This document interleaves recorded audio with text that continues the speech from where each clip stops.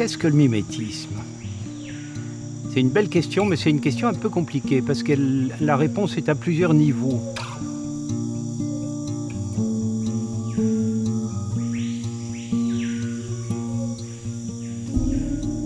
Comment est-ce qu'on devient semblable à quelque chose d'autre?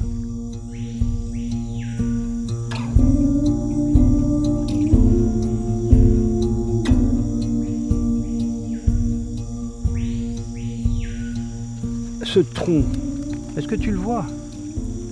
Un tronc brun avec des taches grisâtres qui sont des lichens. Eh bien, un animal qui se pose là-dessus, qui ne bouge pas, et qui est brun et grisâtre, on va pas le voir. Ça peut être des mille pattes, ça peut être des scorpions, ça peut être des araignées, ça peut être des insectes. Mais voilà, c'est ce qu'on appelle l'homochromie, c'est-à-dire que l'animal il s'arrange pour se trouver sur un fond qui a la même couleur que lui, ou alors il s'arrange pour prendre la couleur du fond. Ça lui permet de passer inaperçu pour ses prédateurs, ou de passer inaperçu pour ses proies également. Parce que les proies non plus ne le voient pas, donc elles vont se faire bouffer.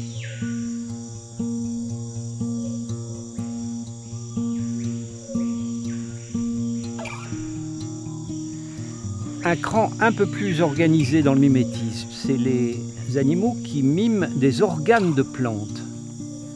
Les phasmes qui miment des petites brindilles, les sauterelles ou les papillons qui miment des feuilles vertes, des feuilles vivantes ou des feuilles mortes.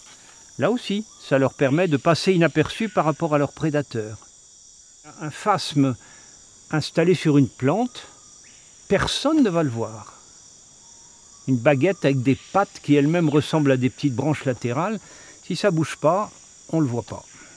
Ces animaux échappent à la prédation de cette façon-là.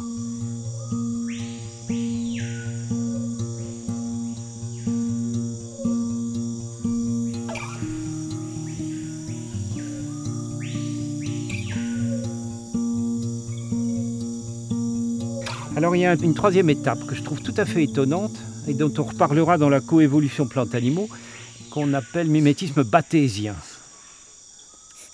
C'est un animal qui mime un animal dangereux, de manière à ce qu'on lui laisse la paix. De très nombreux exemples. On connaît en Amazonie des papillons toxiques, auxquels les oiseaux ne s'attaquent jamais parce parce qu'ils savent que c'est dangereux. Et par conséquent, il y a une cohorte d'autres papillons qui ne sont pas des héliconus, qui ne sont pas dangereux du tout, mais qui échappent à la prédation dans la mesure où ils ressemblent aux héliconus. On a une cohorte de, de mimes de l'héliconus.